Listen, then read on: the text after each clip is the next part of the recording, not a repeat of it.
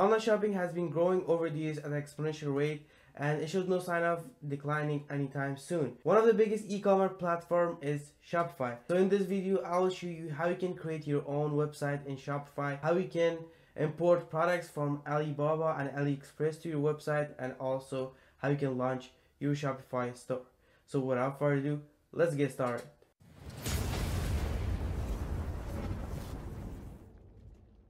Build your Shopify store, what you guys need to do is uh, go to shopify.com and from here you should enter your email and start a free trial.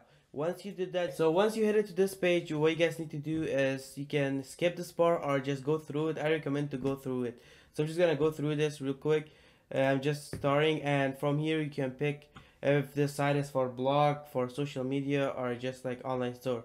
This time I'm just using online store. I'm not gonna pick anything else let's go next and yes so yeah we're gonna go through drop shipping and yeah it's United States let's go and let's see what's gonna be next Alright guys, so once you open your account in Shopify, it will look like that. So the first thing that you guys need to do is just check the link in the description down below. And this is a free app that you have to install to Shopify store.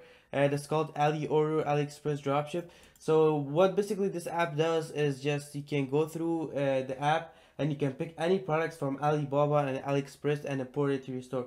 So it's free, it's 100% free. They don't sponsor me, but yeah so let's go through this app this is the app and as you guys can see you can pick any products from here you can search any product and uh, you can search it up and you can find anything so yeah let me just scroll through this and find a good product okay so the product i'm gonna go for is this 2022 man's fashion minimalist watch i just saw this uh, watch and i think it's gonna be great because like i saw the sale and just go up so let's just do that so what we're gonna do is uh, add to import list. After you pick the theme and also import your product, uh, what you guys need to do is go to product and the product that you import should be here.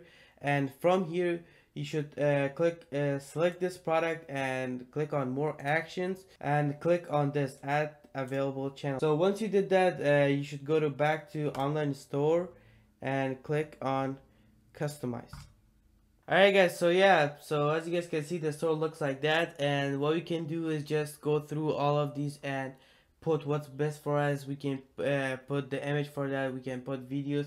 So I'm not gonna go through all of that right now, but you can, you get the idea how to build a store. I mean, yeah, it's pretty easy. You can uh, even like put a YouTube video as there and it's gonna be showing as that or uh, you can put your own videos. Alright guys, so once you create this store, uh, this is how you're gonna launch the store okay guys so to launch the store uh, you guys should uh, head over to online store and from here uh, you should go to preference and uh, as you guys can see what you guys need right now is just go down and remove this password. So to remove this password uh, you guys need is pick a plan. So what's this password? It's like when someone want to access this website uh, they're required a password and when you disable that it's going to be published to whole world. So uh, what you guys have to do is just pick a plan.